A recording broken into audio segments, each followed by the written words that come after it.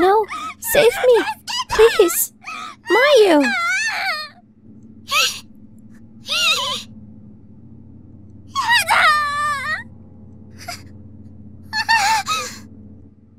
These were the panicked primal screams of a person's last moments on Earth. It's a sound no one should ever have to hear, much less produce. And once you hear it, it's the kind of thing you'll be hearing again for the rest of your life. Nothing can ever wipe it from your memory. It stays with you. I sat there dumbfounded, so disturbed that I could barely breathe, and watched the slow slither of Nana's body as she disappeared into the unknown. It only took a few seconds for her to vanish into blackness, but those were the longest few seconds of my life. And when she was gone, only a wide swath of blood remained, tracing her path down the hall and across that hellish threshold. N Nana, I have to go save her.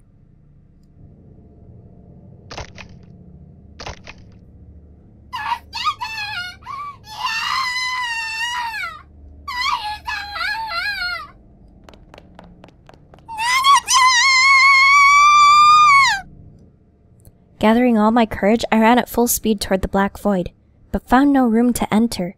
Beyond the door was nothing more than a solid wall. What? No! Where is she? Where was she taken? It was just as Shinozaki had said. Right before my eyes, a human being was pulled into a space that simply no longer existed. Pulled out of reality. And yet, I could still hear her. I can't even describe how frightened I was. All I could do was scream and take off running. Away from there. Anywhere else was preferable.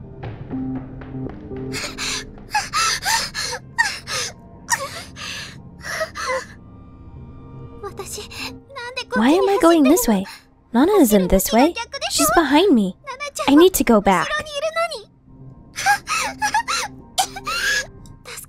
I need to save her. I need to save Nana. But I'm just getting farther and farther away from her. No, I can't. I just can't. It's not possible.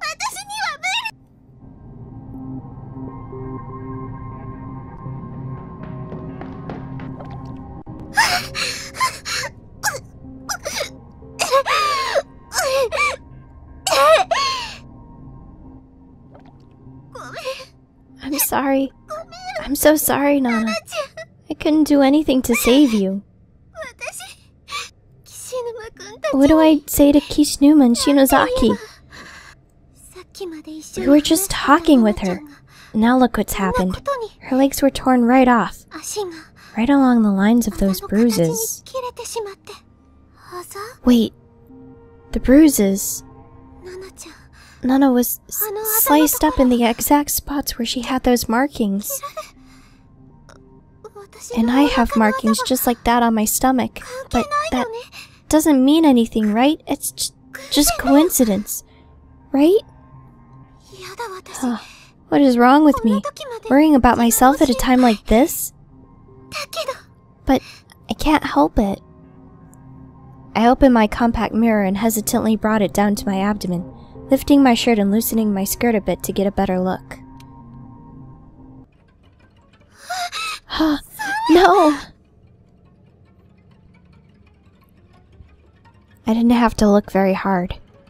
The color of the bruise on my abdomen had darkened significantly. It was far more pronounced now, practically pulsating in purplish red.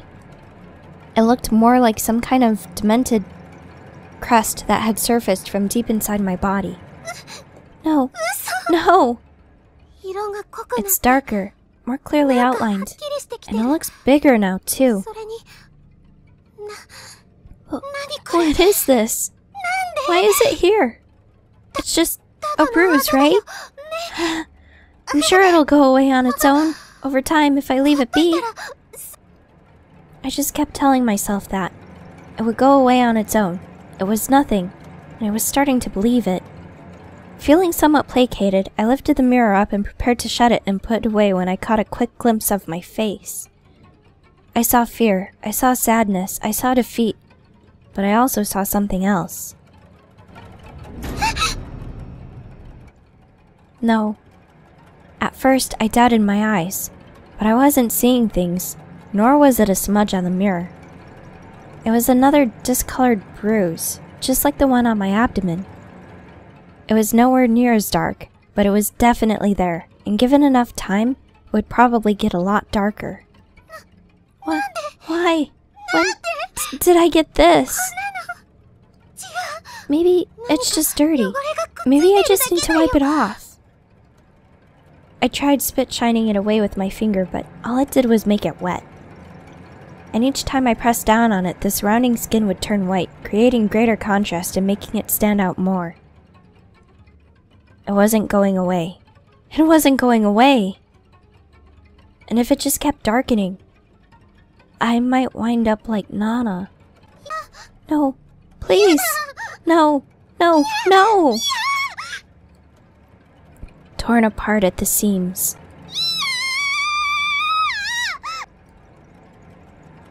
Suzumoto! Suzumoto, what's wrong? I thought I heard you scream. No luck in finding Ogasawara? I don't like that at all. We'll help you search. Suzumoto? No, stay back! I took a step away from them, despite myself. What's going on? Please, just stay back. Nothing's going on, I swear. Did something happen? Did you see something in your compact? It's nothing. I didn't see anything. I'm fine. I'm fine.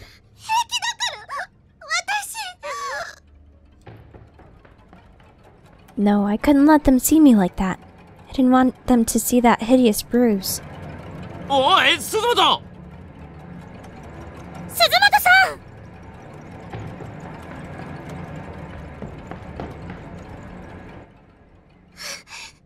What do I do?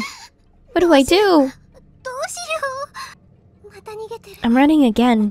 But where? Where am I going? I have to get rid of this. If I don't, if I can't, then I ないとナナちゃんみたい I'll wind up like Nana.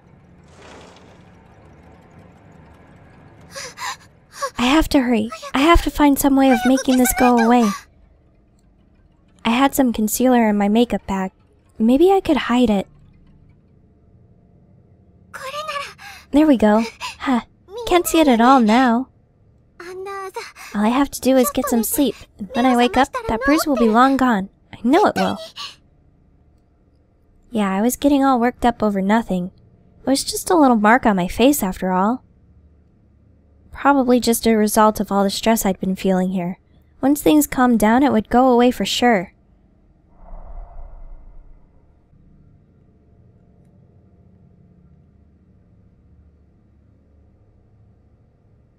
Well, nothing in here. May as well leave. Hmm? I don't remember closing the door. It wouldn't open. And it wasn't like it was locked. Rather, it felt almost if it, as if someone were holding it closed with superhuman strength.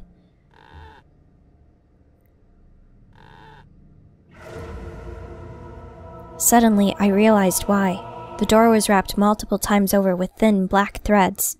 How had I not noticed these a moment ago? What? What the?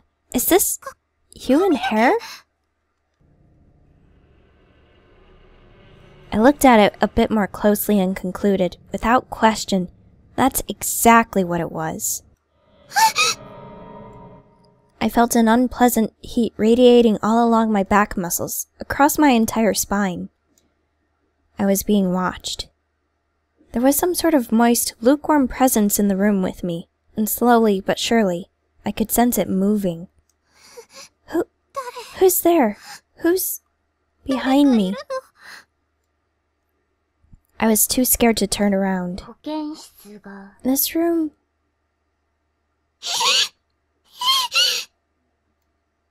It was a little girl wearing a red dress. Probably a first or second grader. Her skin was as pale as pottery, contrasting with her lacquer like hair. She looked somehow familiar. Ah, this is the girl from the newspaper who survived the murders. Sachiko Shinozaki. But that can't be right. That happened over 30 years ago. This room is so lifeless. I know what it needs. A human autopsy model. I want to dissect a human.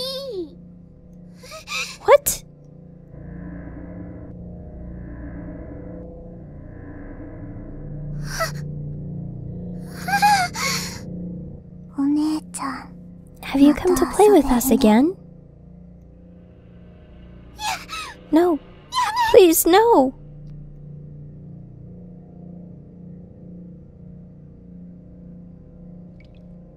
Something was dripping onto the back of my hand. Are these tears? That's what I thought at first, anyway. If I'd started to cry, I wasn't aware, but considering what I was going through, it wouldn't have been surprising in any way. I wondered just how much I'd cried since getting sealed up in this godforsaken place. Probably more than I'd ever cried before in my entire life. But these weren't tears, were they? Was it blood then? Did these children do something to me? Sure enough, I reached up and touched my face, and my finger came in contact with something sticky. Something sticky and red. Ah, what? What did you do to me? We didn't do anything. Sachiko's answer was cold and disinterested, and came accompanied with a crooked wry smile. She was just a child, yet one glance from her made every hair on my body stand on end. How about you take a look in the mirror? We'll wait, just for a bit though. Sachiko's face somehow made me feel as if there might be two sides to her. One gentle and one... not. But regardless of which I was dealing with here, I wasn't about to go against her recommendation.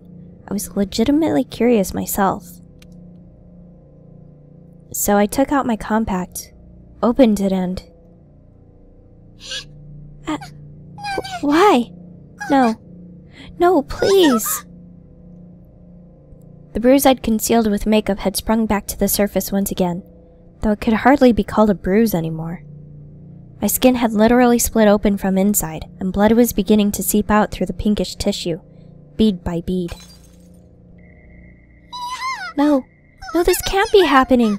It can't be. No! It's happening. That's all you.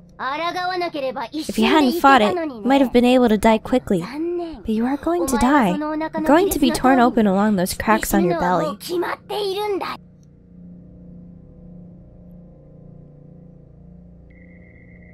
The bruise along my stomach and abdomen had followed suit, splitting open and dripping dark red blood everywhere.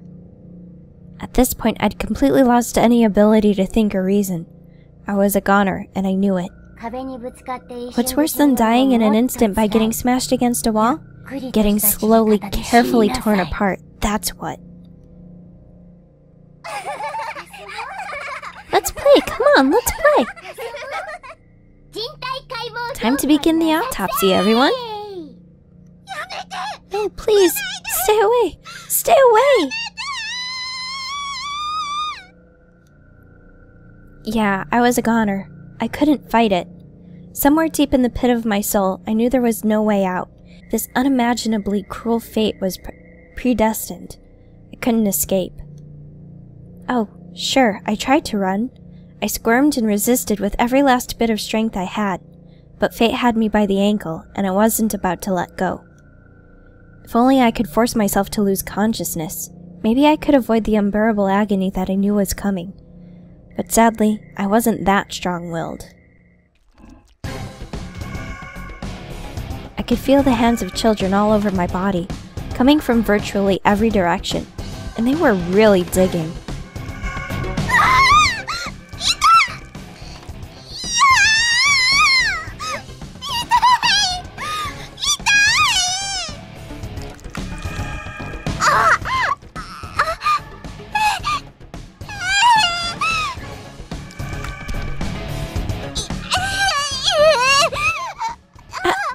dying! Save me! Shige! Shige-nii! Shige? your, de your dear Shige won't be coming to your rescue. No chance. No hope. You're so mean, Sachiko.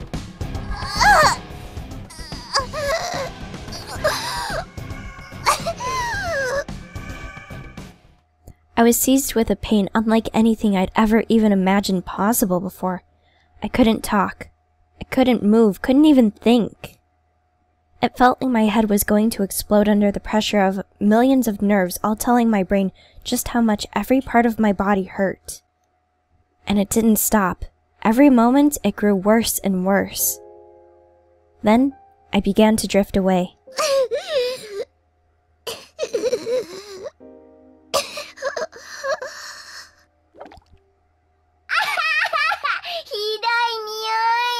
What an awful stink!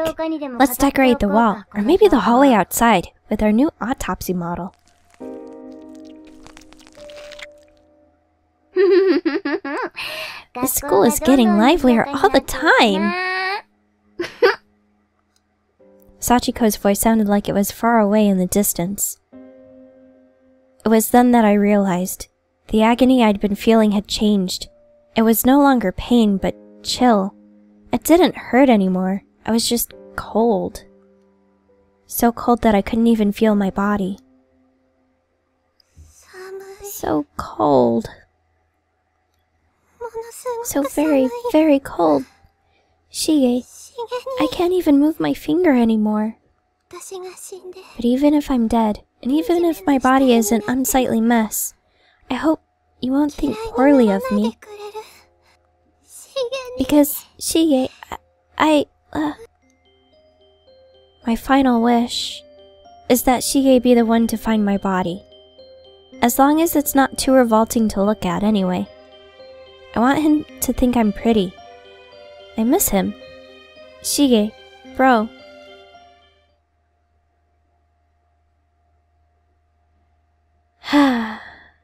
Sometimes the true ends are more horrible than the bad ends. I'll see you next time.